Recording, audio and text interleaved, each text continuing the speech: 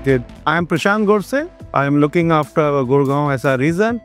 And today I will be taking you through the tour of our uh, stall at DMTX 2025 at New Delhi.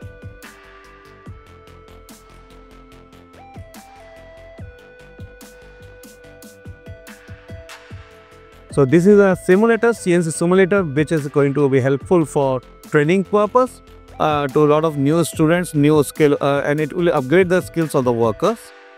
So I will take you to next. So these simulators are in two types. One is standalone machine, which gives you actual virtual machine, Well, this is a MOP version of simulator.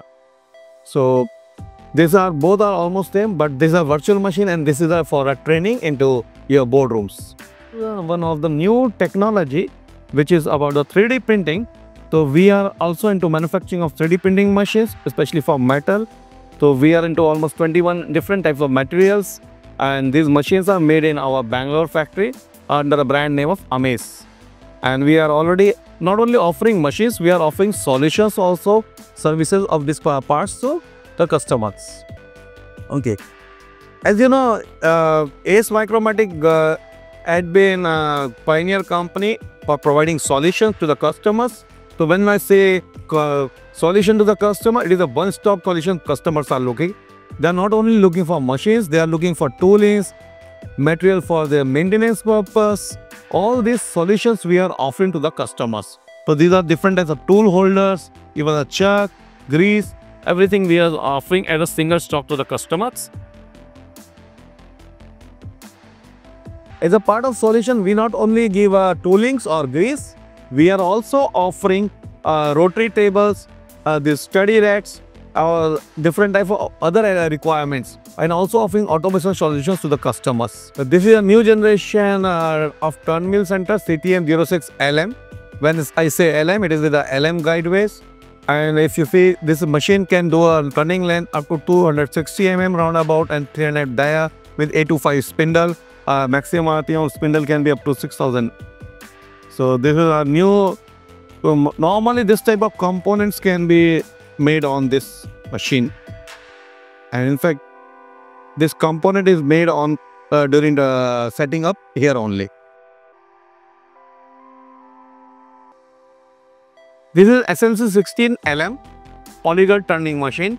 So normally polygon turning machines have been used for making hex or different types of flat surface during turning process.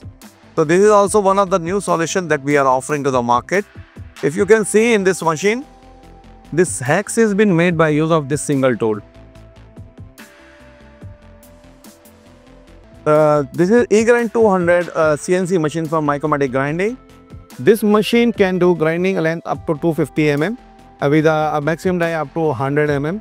Machine is available into angular as well as straight configuration which is pre-decided into factory and this is a highly production machine which is being used for precision components into industry. This is a high performing uh, HMC 400 XL machine which is been uh, offered with a table size of 500 uh, by 500 a perfect uh, solution for the machine against the machines which have been imported in india. This machine rpm can be up to 6 uh, 6000 rpm and we can go up to atc of 64 tools.